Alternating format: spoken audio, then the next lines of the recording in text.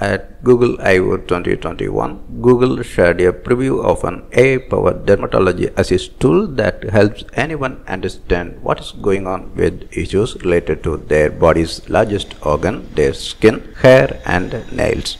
Using many of the same techniques that detect diabetic eye disease or lung cancer in CT scans, this tool gets the users closer to identifying dermatologic issues like a rash on arm using phone's camera. Google says that each year they see almost 10 billion Google searches related to skin, nail, and hair issues.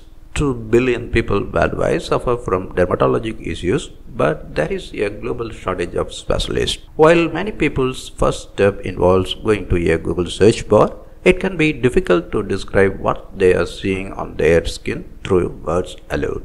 Google's AI-powered dermatology assist tool is a web-based application which will be launched as a pilot later this year to make it easier to figure out what might be going on with our skin.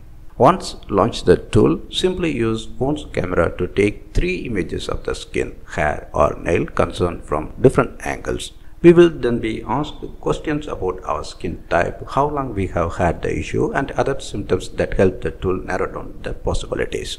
The AI model analyzes this information and draws from its knowledge of 288 conditions to give us a list of possible matching conditions that we can then research further. For each matching condition, the tool will show dermatologist reviewed information and answers to commonly asked questions along with similar matching images from the web. The tool is not intended to provide a diagnosis nor be a substitute for medical advice as many conditions require clinician review, in-person examination or additional testing like a biopsy. Rather, it gives access to authoritative information so we can make a more informed decision about our next step. Google says that this tool is the culmination of over three years of machine learning research and product development. This model accounts for factors like age, sex, race, and skin types, from pale skin that does not tan to brown skin that rarely burns.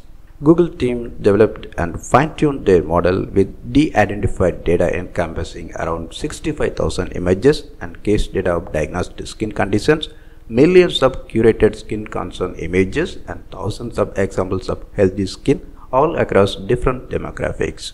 Recently, the AI model that powers this tool successfully passed clinical validation, and the tool has been CE marked as a Class 1 medical device in the EU.